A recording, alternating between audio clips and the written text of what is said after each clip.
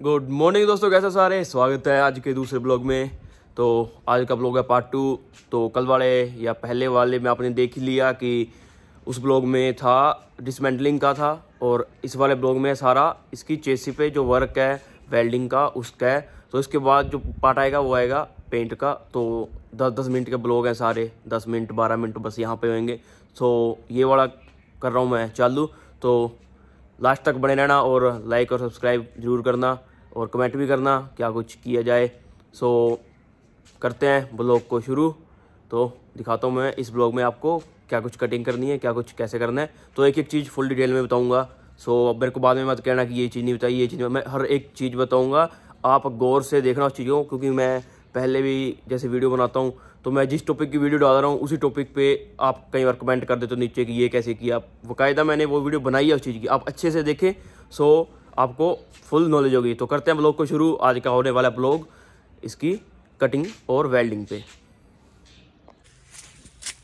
और ये पीछे के ये, इसकी जो पत्ती वगैरह, ये भी मैंने यहाँ से कट कर ली है। आप देख सकते हो कि यहाँ से, बिल्कुल जहाँ से मतलब ये राउंड होना स्टार्ट होता है, वहाँ से कट किए हैं दोनों, इतने इतने। देख सकते हो इधर वाला भी, ये दोनों कट कर दिए, और ये इसके जो बीच में था, ये लगा हुआ, ये भी कट कर दिया। कुछ अपनी पीछे से इस तरह की चीज़ रह गई है।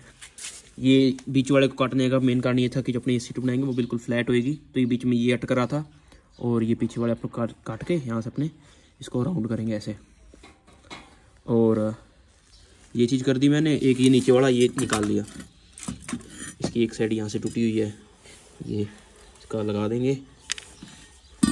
ये मैं नया नहीं लाया, नया हल्का होता है तो इसका ओरिजिनल ही रखेंगे, इसको दोबारा तैयार कर लेंगे।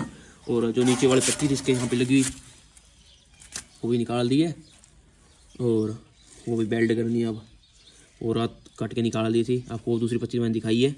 वो वो पड़ी। उसके जैसे नई पत्ती यहाँ पे ऐड कर देंगे। बस इसका मैं ये बेल्ट वाला सिस्टम बना लूँ, वो भी आपको दिखाता हूँ। और ये वाले टायर सेलेक्ट किए हैं। अपोलो के हैं, सौ नब्बे अठारह। ग्रिप कुछ ऐसी है, पुराना टायर वो रहा और ये बड़े वाले टायर हैं। सो यही अपने वाले में फिट आएगा क्योंकि अपने वाले का जो चिमटा वगैरह वो काटना पड़ता है। तो ये वाली पत्ती अपने यहाँ पे वेल्ड करनी है, नीचे इसके। तो इसको लाइन कर लिया बिल्कुल दोनों साइड से। यहाँ पे अपना कर दूँगा इसको वेल्ड इसका वो फ्रेम भी, वो नीचे वाली जो को बताई थी, काम इसका टूटा हुआ है। ये भी एक साइड का वेल्ड कर लिया, यहाँ से। ये रहा। बस। इसको वेल्ड करना है, फिर इसको पीछे से करते हैं वेल्ड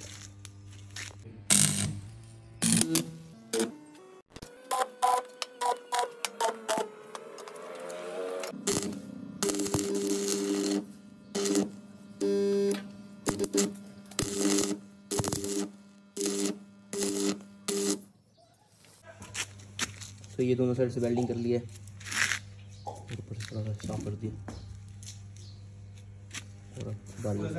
इसकी ये पत्ती और ये स्टैंड पे भी दो नीचे छोटे छोटे पीस लगा दिए पाइप के। जब अपना टायर जैसे सौ नंबर डालेंगे तो ये स्टैंड हवा में ही रहेगा। तो अब ये नीचे लगने लग जाएगा इससे। अब पेंट तो करेंगे तो साथ में ये पेंट हो जाएँगे। बाद में कुछ भी कटिंग वटिंग नहीं करनी पड़ेगी। या बाद में वेल्डिंग नहीं करवाना पड़ेगा कुछ भी। तो ये सारे जो पॉइंट थे वो आपको बता रहा हूँ।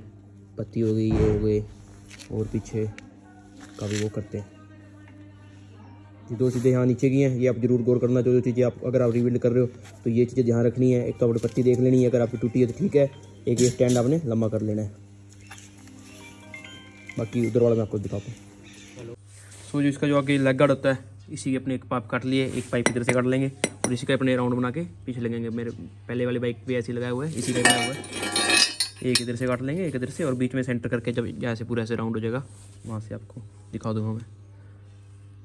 तो ये चीज़ बेस्ट है। इसमें ऐसे राउंड बने बनाया हैं जहाँ पे एक जोड़ लग जाएगा। तो बिल्कुल ऐसे मस्त चीज़ बन जाएगी। तो आप अगर पाइप से वगैरह से राउंड करोगे तो बन नहीं पाएगी, ये तो अच्छी चीज़ है। उतना ही साइज़ भी सेम है, सब कुछ बेस्ट बेस्ट बनता है इससे।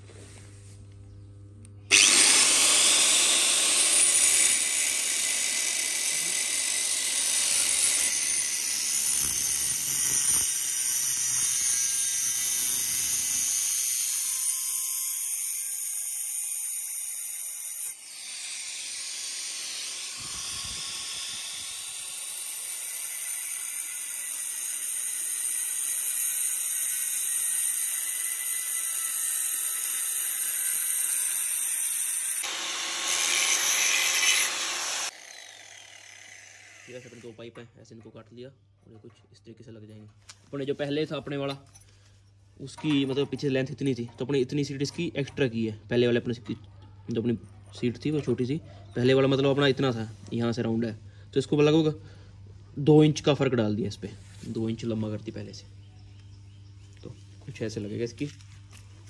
और अपना टायर आ जाएगा यहाँ तक टायर फिर भी थोड़ा सा बाहर रहेगा टायर इतना फ़र्क इसमें अपने रखेंगे, इतनी लंबी कर दी है अपने, देख लो।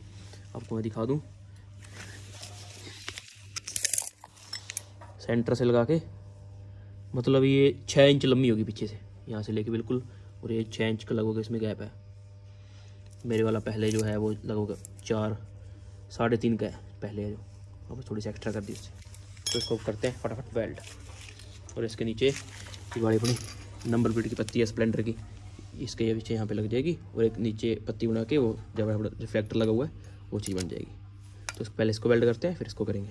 और इसके नीचे अपना वो भी लगाएँगे, अगर लगाया तो। ये तो ऐसे दिखते हैं।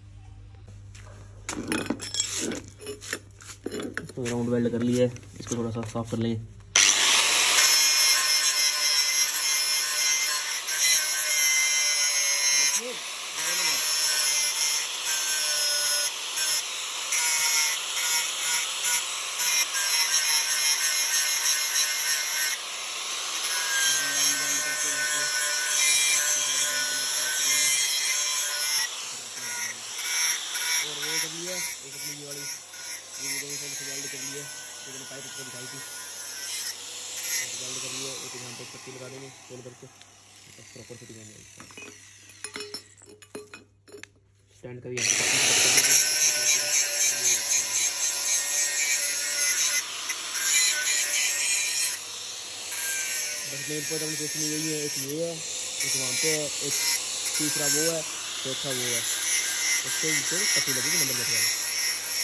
इतना काम अपनी क्वेश्चन में सो आज बारी है इसकी नंबर प्लेट वाली पत्ती लगाने की। अपने वाले बैग की तरह यहाँ पे अपने इसको कर देंगे। कुछ इस जगह पे वेल्ट बिल्कुल सीधा करके। और यहाँ से यहाँ पे अपने ये माउंटिंग रह जाएगी। यहाँ पे अपने वो का नीचे जो रिफ्लेक्टर लगाएँगे, उसकी पत्ती यहाँ से अपने नट से टाइट कर सकते हैं। और ये सीधी यहाँ पे वेल्ड कर देंगे इसको। बस। कुछ इस तरीके से। और एक वो टैंक वाली रहेगी यहाँ वाली, वो भी मैं लगाऊँगा और ये भी मैं यहाँ पे वेल्ड कर दूँ। फिर करते हैं इसको पेंट पेंट का प्रोसेस इसके बाद अपने चालू करेंगे। पेंट वगैरह मैं ले आया सारा कुछ। पेंट का मैं सारा आपको एक एक चीज़ दिखाऊँगा। कौन सा पेंट है, कैसे किया है तो वो सारी एक एक चीज़ वो भी मैं आपको दिखाऊँगा। और एक शोकर भी द्वारा रोड वगैरह नहीं आ गई वो भी द्वारा भरने लीक थे। और पीछे वाले चोकर वही रहेंगे। और छोटी छोटी जो चीज़ें सारी, आपको एक चीज़ मैं दिखाता रहूँगा फ़िलहाल मैं ये काम कर लूँ। कुछ इस तरीके से अपने पत्ती वेल्ड कर लिए, इस बार थोड़ा सा इसको लंबा किया है। यहाँ पे अपने इंडिकेटर्स लगाएँगे छोटे छोटे ये मैंने थोड़ा सा चेंज किया है, और ये रहे अपने वो इंडिकेटर्स छोटे छोटे जो मैंने बताए थे। कुछ अपने इस तरीके से यहाँ पे लगाएँगे। एक पत्ती और आप ऐड करनी है, इसके ऊपर नंबर प्लेट आ जाएगी, और यहाँ पे वो पत्ती लग जाएगी, ऊपर अपनी बाहर लाइट। उसमें बड़े इंडिकेटर्स साथ वाले नीचे लाएँगे, इसको चला देंगे। वो रेड चलेगी, और ये इंडिकेटर्स यहाँ पे लगा देंगे, दोनों साइड।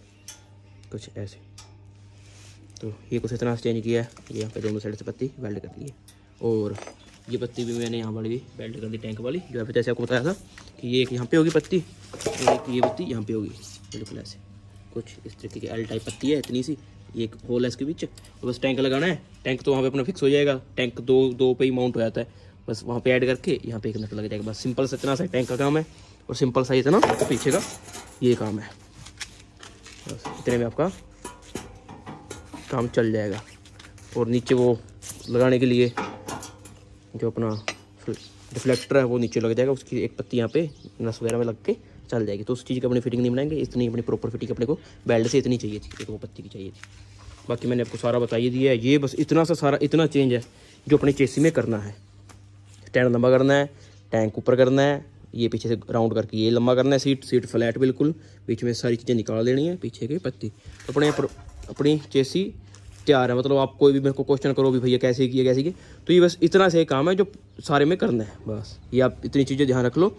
स्टैंड एक वो वाला टैंक वाला, एक टैंक की पत्ती, एक ये राउंड करके मैंने आपको बता ही दिया, उसके लेग गार्ड से काट के अपने ये राउंड करके ये पाइपें बनाई है। मेरे को बहुत कमेंट आ रहे हैं कि ये किस चीज़ से बनाया ये किस चीज़ बना मैं बता रहा हूँ, ये लेग गार्ड जो होता है जो अपना उससे ही काट के उसके बैंड निकाल दिए और ये ऐसे बन जाता है। आप कोई भी लेग गार्ड ले सकते हो, ज़रूरी नहीं, ऐसा ही हो। बस ऐसे राउंड हो, बस सिंपल सा ही काम है, उनको ऐसे बैंड से काट के सेंटर से वेल्ड कर देना है।